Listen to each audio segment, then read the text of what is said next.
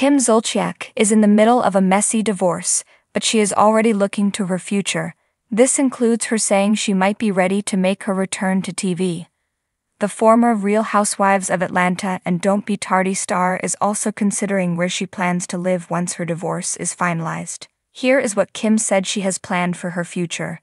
Just when it seemed like Kim Zolciak Bierman and Kroy Bierman might reconcile, the divorce is back on and things are not going well for the couple. Kroy had changed his mind on a divorce, but then the two reportedly had a blow up fight over finances again, and Kroy served Kim with papers demanding full custody of their kids, child support, and the right to live in a mansion. Kim took the time to field questions from her Instagram followers as a result. She was traveling on Monday and that Q&A with fans was something she did to entertain herself.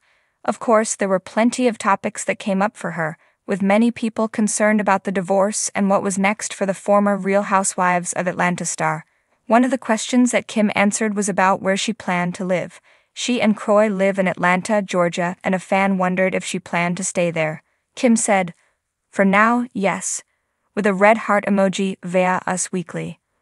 Whether Kim remains there once the divorce is finalized remains to be seen. However, there was one other question that many of her fans have been asking for years.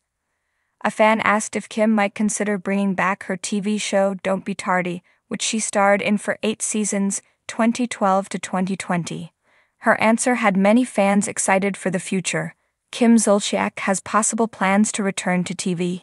Kim said that there were no plans to bring back Don't Be Tardy for a new season. She was a star in Real Housewives of Atlanta for five seasons and was a recurring star for another season of the show. She was 29 when she started on Real Housewives, and then she got her own spin off show called Don't Be Tardy for the Wedding.